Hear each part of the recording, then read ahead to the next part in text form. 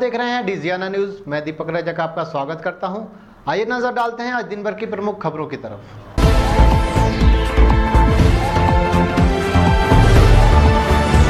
मालपुर की गुफाओं में अज्ञात लाश मिलने से लोग सकते में आ गए। आपको बता दें कि डायल हंड्रेड को एक फ़ोन आया था, जिसने बताया कि मालपुर की गुफाओं में एक कुएँ में कोई व्यक्ति की लाश पड़ी है, जिसके बाद पुलिस पहुंचकर उक्त युवक की लाश बाहर निकाली। वहीं कुएँ के पास एक साइकिल भी बरामद हुई है। युवक की पहचान अभी तक नहीं हो सकी है। वहीं इसको देखकर हत्या की आशंका भी लगाई जा रही है। हालाँकि पुलिस हर पहलू पर ध्यान देकर काम कर रही है कि यह आत्महत्या है या फिर दुर्घटना। सूचना मिली पुलिस चौकी से। कदीर भाई मालपुर गोपा पे चले जाओ वहाँ पे कोई डेड बॉडी पड़ी हुई है वहाँ से सब डाला तो वहाँ पे मैं गया तो सब बाहर निकला हुआ पड़ा था। पुलिस ने मतलब अपना काम पूरा कर चुके थे। तो उसमें पानी के अंदर पड़ी हुई थी डेड बॉडी। तो वहाँ से उठा के मैं पीएम कर लिया तो वहाँ से मिला ऊपर कुछ कुछ पैसे वगैरह जीने पर आते मिले। और बाकी उसकी डेड बॉडी नीचे रखी मिली और कुंदों से खींची गई थी इसकी। नीचे घुस गया था पैसा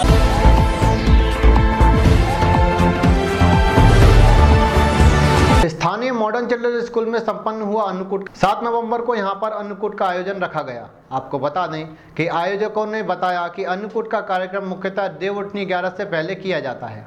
पर चूँकि शहर में इस बार कई अनुकूट हुए थे तो आयोजक समिति ने इस बार अनुकूट करने का फैसला बाद में लिया, जिसके बाद कल इसको संपन्न किया गया। आयोजकों के अनुसार यहाँ पर तकरीबन 20 से पच्चीस हज़ार लोगों ने प्रसादी ग्रहण की।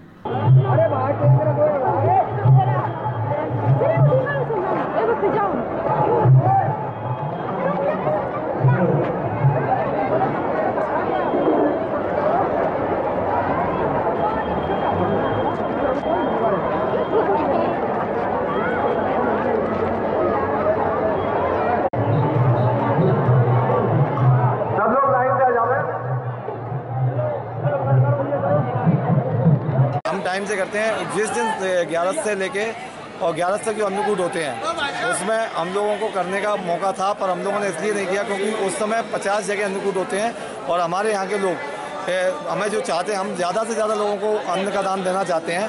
वो उस समय हमारी पूर्ति नहीं हो पा रही थी। इस बार अन्नकूटों का ज़्यादा माहौल था, इसलिए हमने इसको दो, इसके ग्यारह के बाद रखने का सोचा। हमारे अन्नकूट में आज हम लोगों का एस्टिमेट था, बीस से पच्चीस हज़ार लोगों का। जो पहले हम लोग करते थे तो हमारे पास चौदह से पंद्रह हज़ार लोगों का था। अब इस बार हमें बीस से पच्चीस हज़ार लोगों का और हमने पूरी व्यवस्था बीस से पच्चीस हज़ार लोगों की है। अन्नकूट हम करीबन 10 से 12 साल से कर रहे हैं और ये अन्नकूट में हमें मॉडर्न स्कूल का पूरा सहयोग रहता है, जो हमें एक बाउंड्री में अंदर करने का एक, बहुत अच्छा सुअवसर मौका देती है मैडम।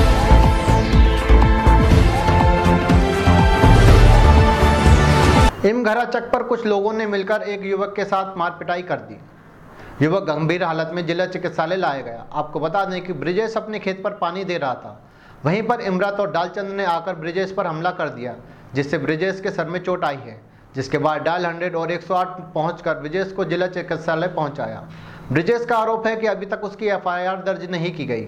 शायद पैसों का लेन देन हो गया है। खेत पे है तो पानी पे। एक दिन पहले मुँह मार यहाँ से मैंने कही अपनी लड़ाई थोड़ी है यार। अब के मैं तु, तुझे देखूँगा कहीं। मैं खेत पे से रह रहा हूँ मैं घर पर आओ खाना खा के। तो शाम के आठ बजे साढ़े आठ बजे। मुँह में सीधे पाँच ही सही था कभी देवी तमरत ने खुला नहीं मारी और वहाँ डालचंद में सब बंद आए और मुझे पता नहीं कितने ने मारा मुझे मरो समझ के भाग गए रपोग नहीं डाल। पाई सर। यहाँ के पटकता है सो नंबर का से बाने हमें रास्ता में मैंने दूसरी गाड़ी बुला के। बुला दे पैसा भरता है और जगह गाड़ी में पटकता है हमें पैसा ले ले और एक सौ आठ में पटकता है एक सौ आठ में पटकता है। जानकारी। ना डॉक्टर ने जानकारी दी। ना जानकारी नहीं दे रहा डॉक्टर की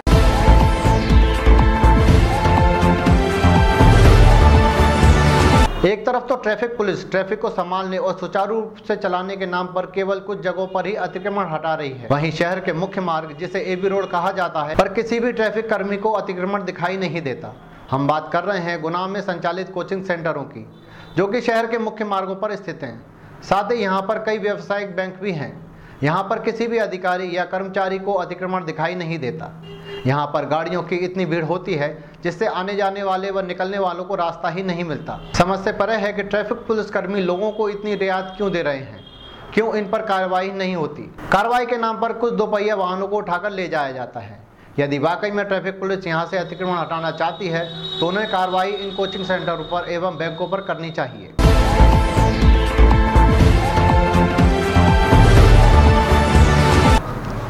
आठ नवंबर, यानी नोटबंदी को आज पूरे एक साल हो गया है। नोटबंदी को अपनी मेहनत की सफलता बताते हुए भारतीय जनता पार्टी ने आज जिला मुख्यालय पर एक निजी होटल में एक पत्रकार वार्ता का आयोजन किया। पत्रकार वार्ता में भारतीय जनता पार्टी उपलब्धियों का बखान किया। इस वार्ता में गुना विधायक पन्नालाल शाक्य, मीडिया प्रभारी रमाकांत चौबे, अशोक शर्मा, गजेंद्र शिकरवार अमित सोगान, संतोष धाकड़ आदि कार्यकर्ता मौजूद रहे। देश हित में, समाज हित में राष्ट्र हित में अपने को एक एक कदम रखना चाहिए।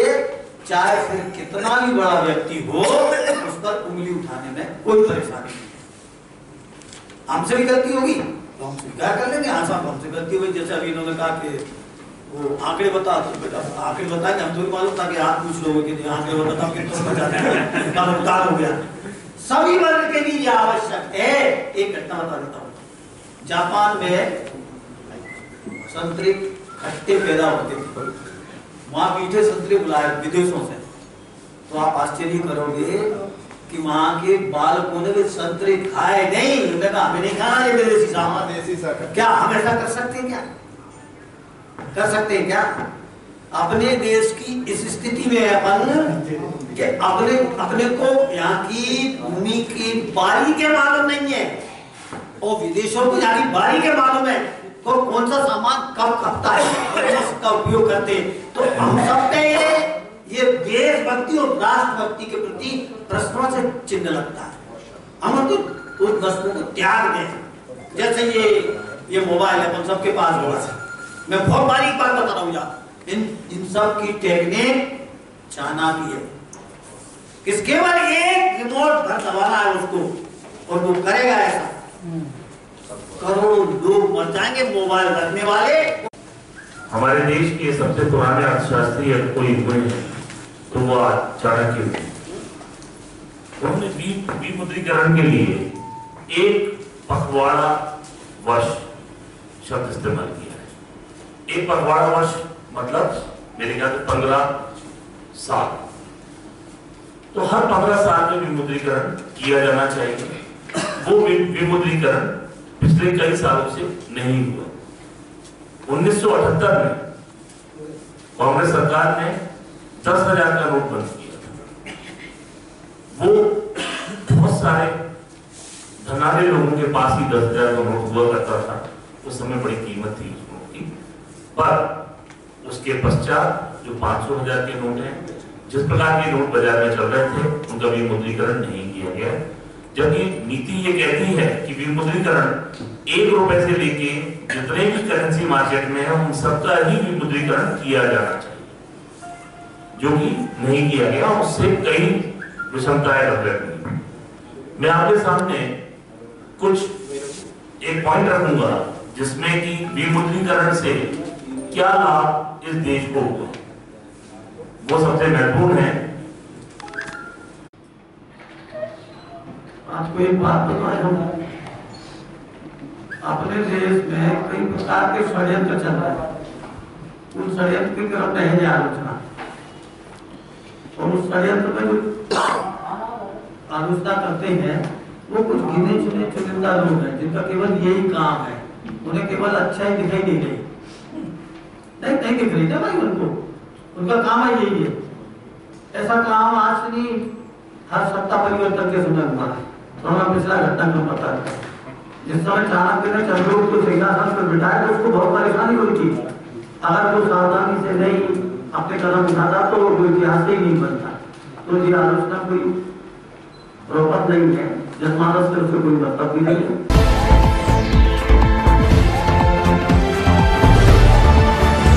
एक तरफ़ तो भारतीय जनता पार्टी नोटबंदी के फैसलों को एक महत्वपूर्ण उपलब्धि बता रही है। वहीं दूसरी ओर कांग्रेस ने आज के दिन को काला दिवस के रूप में मनाया। सभी कांग्रेसी जन नगर पालिका परिषद के सामने इकट्ठा हुए। नारेबाजी करते हुए कलेक्ट्रेट तक पहुँचे। नगर पालिका के सामने धरना प्रदर्शन भी किया। इस मौके पर शहर कांग्रेस से सभी कांग्रेस जन मौजूद रहे। वहीं उन्होंने नोटबंदी से होने वाले नुकसानों के बारे में भी लोगों को बताया। सभी कांग्रेस जनों ने अपने अपने हाथों पर काली पट्टी बांधकर इस धरना प्रदर्शन एवं रैली में साथ दिया। हूँ कि साथ देश के प्रधानमंत्री बने थे। एक भी वादा उन्होंने पूरा नहीं किया है। देश की जनता पर उन्होंने कर्ज लादा है, मान लादा है। भारत की विदेशों में उनकी नीतियों को लेकर आलोचना होगी, उससे हमारे भारत का एक एक नागरिक मिलता है। कुछ नहीं है। आप सब जानते हैं, जनता आने वाले समय में आपको जवाब देना है और हम अपने प्रदेश के मुखिया शिवराज सिंह चौहान को भी कहते हैं कि जो एक महिलाओं का सम्मान नहीं कर सकते या रात दिन आए दिन बलात्कार हो रहे हैं। जय हिंद प्रधानमंत्री ने किया था, उसके विरोध में हम लोग आज सब जनता के साथ मिलके विरोध दिवस मना रहे हैं। जैसा कि आप सबको पता है कि आज से 12 महीने पूर्व जब ये हिटलर शाही रात को 12 बजे से लगी थी, तब जनता में एक अफरा तफरी का माहौल था। हर तरफ़ त्राही त्राही मची हुई थी। समझ में नहीं आ रहा था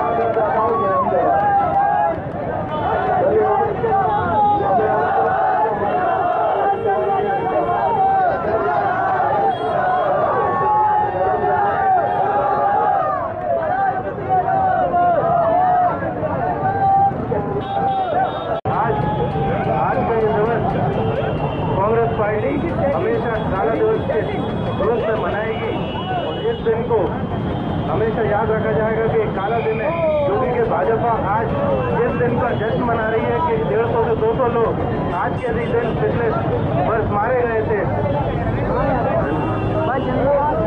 धन्यवाद कलल जी मैं आमंत्रित कर रहा हूँ हमारे बार के अध्यक्ष वरुण सिंह।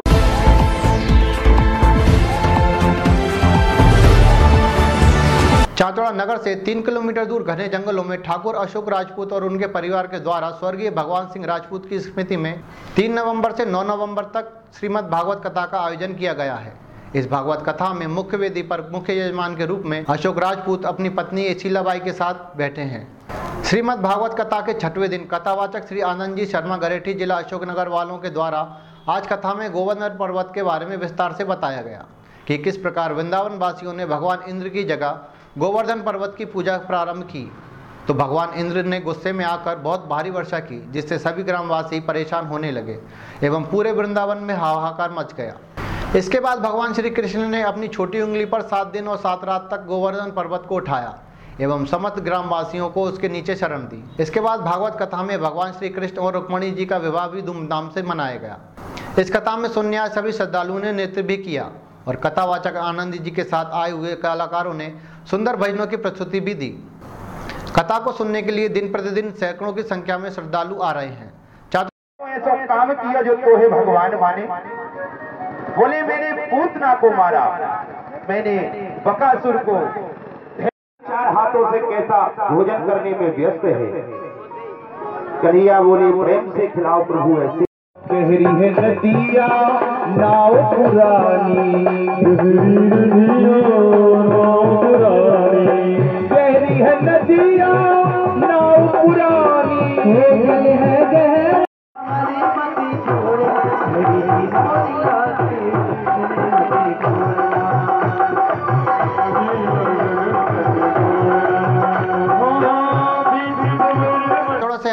सहयोगी शिवम नामदेव की रिपोर्ट।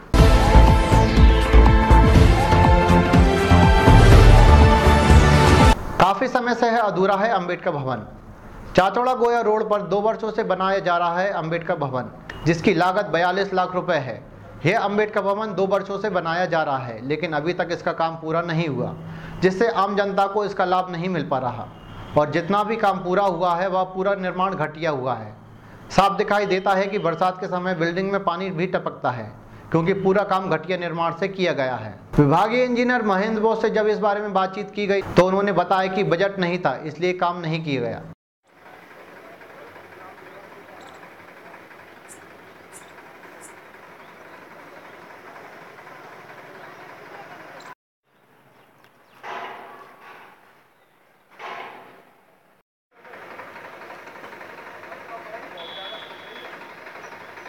चाचौड़ा से हमारे सहयोगी शिवम नामदेव की रिपोर्ट।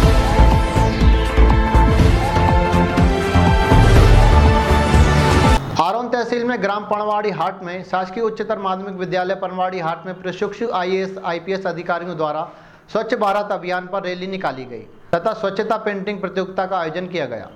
स्कूल के छात्र छात्राओं को सम्मानित भी किया गया। इस कार्यक्रम का आयोजन बेटी पढ़ाओ और बेटी बचाओ अभियान के तहत किया गया।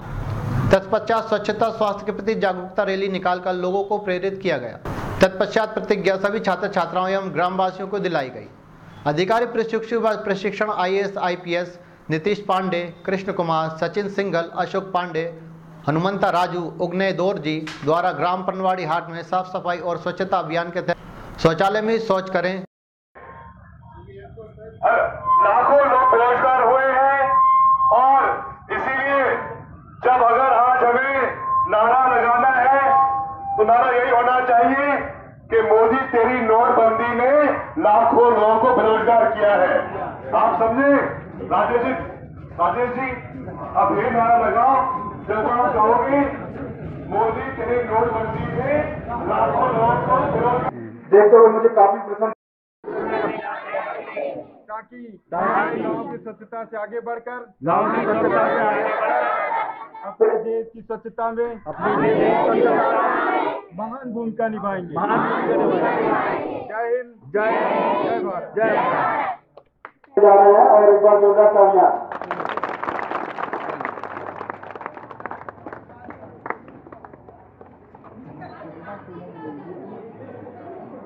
अब अब द्वितीय स्थान प्राप्त करने वाले बच्चों को हम यहाँ आमंत्रित करना चाहेंगे। पुरस्कार की राशि देने के लिए हम यहाँ बायोलॉजी की टीचर मैम को मैं आमंत्रित करना चाहूँगा तो आगे और आरोन से हमारे सहयोगी चंद्रेश रघुवंशी की रिपोर्ट।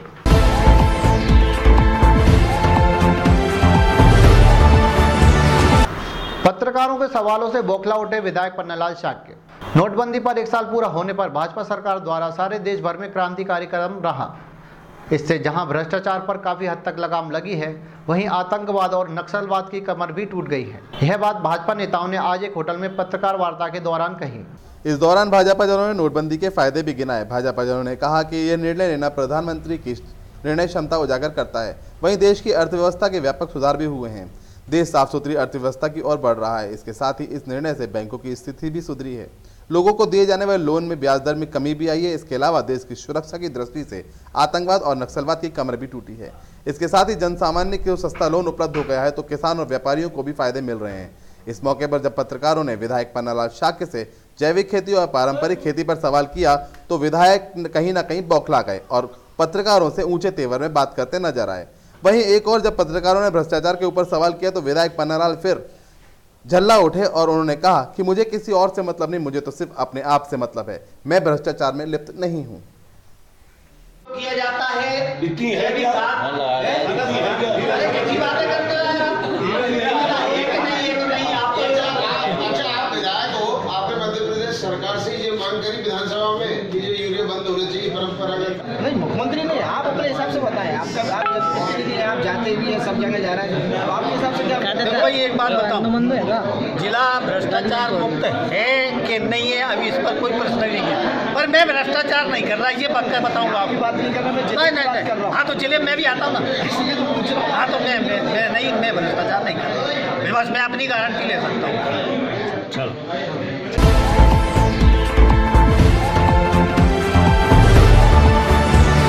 आज ब्लॉक कांग्रेस कमेटी राधोगढ़ द्वारा नोटबंदी के विरोध में काला दिवस के रूप में मनाया गया।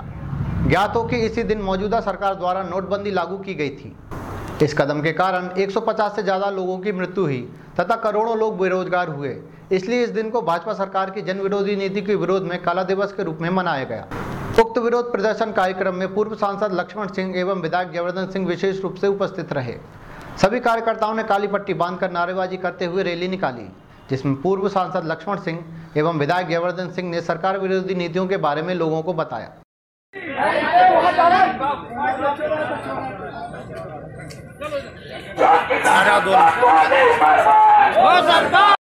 पटेल साहब, श्री बैजनाथ सिंह यादव जी, जो भाजपा में थे, कांग्रेस पार्टी में आ गए हैं। हमारे साहब ने माला बनाकर उनका कांग्रेस पार्टी में स्वागत किया है। बहुत बहुत बधाई। जय हो। राधोगढ़ से हमारे सहयोगी कमलेश सैनी की रिपोर्ट।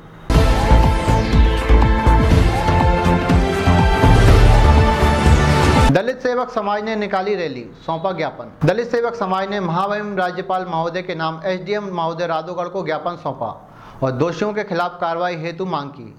देश और प्रदेश में हो रहे गैंगरेप की घटना और हाल ही में घटित हुई मकसूदनगढ़ के बारोद गाँव की घटना है, जिसे सुनकर किसी का भी दिल दहल जाए। ऐसी घटनाएँ भारत में और प्रदेश में कई जगह घटित हो रही हैं। एक तरफ़ सरकार बेटी बचाओ और बेटी पढ़ाओ आदि योजनाएँ चला रही है, वहीं दूसरी ओर सरकार और स्थानीय प्रशासन खामोश बैठा रहता है। कोई एक्शन नहीं लिया जाता, और अगर लिया भी जाता है तो काफ़ी देर हो चुकी होती है। घटना मकसूदनगढ़ के बारोद गाँव की है, जो कि उषा अहिरवार विगत दिनों उसके साथ गाँव के कुछ दबंग लोगों ने बलात्कार किया। आरोपियों को स्थानीय पुलिस ने समय पर कार्रवाई नहीं की। इससे पता चलता है कि हमारी पुलिस प्रशासन कितना प्रभावी है। रैली निकालकर ज्ञापन सौंपने वालों में मुख्य रूप से दलित सेवक समाज के प्रदेश उपाध्यक्ष नरेंद्र बिलरवान ब्लॉक कार्यवाहक अध्यक्ष डॉक्टर धर्म सिंह सोलंकी, जिला प्रभारी कुलदीप कश्यप आदि लोग उपस्थित रहे।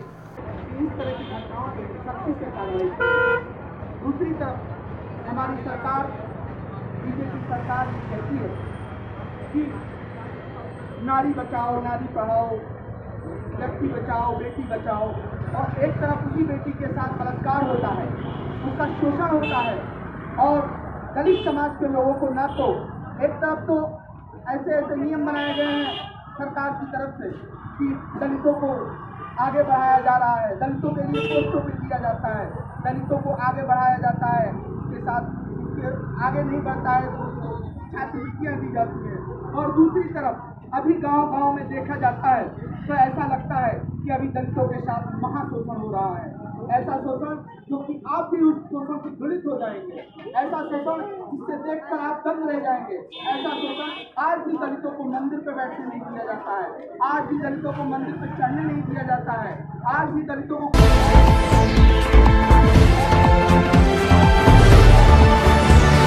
डीजी आनंद न्यूज़ में आज बस इतना ही। कल नई खबरों के साथ हम फिर हाजिर होंगे। तब तक के लिए नमस्कार।